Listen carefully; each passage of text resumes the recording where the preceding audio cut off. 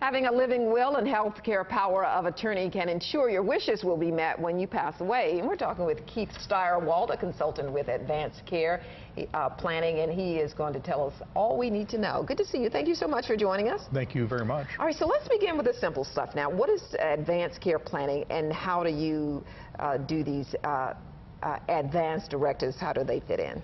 Well, advanced directives, we'll, jump to that first, are typically things such as the living will and the healthcare power of attorney, which are legal ways for you to designate the kinds of care and who you would want to make your decisions at a time that you're so sick that you can't make those decisions.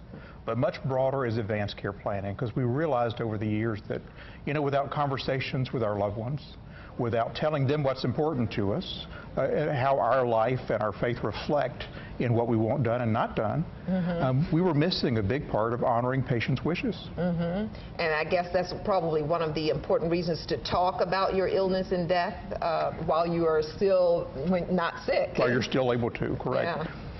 All right, so now is it safe to assume that in the event of your death that your family will know what you want? You know, that's one of the, the disheartening things that I've uh, found when I was a floor chaplain, and that is that often for people who've been married for decades, uh, mm -hmm. when a, a, medical emergency comes and we say, what would he or she want during this situation, the family will say, you know, we never talked about it. So people that slept together for 50 years, that sat across the breakfast table for 50 years, never talked about getting sick. Never had that conversation. Well, now talk a little bit about what attributes you should look for, like in a healthcare agent you know, a lot of times people assume automatically it's their spouse, and that's not always the case. Mm -hmm. We look for people who are, number one, who have affinity for you, those folks who know you and care for you. The second is accessibility. We need to be able to get in touch with them. Mm -hmm. The third is assertiveness, because not everyone works in healthcare. Some people are very intimidated uh, when they see a lot of white coats, and so we need someone who'll speak up for you.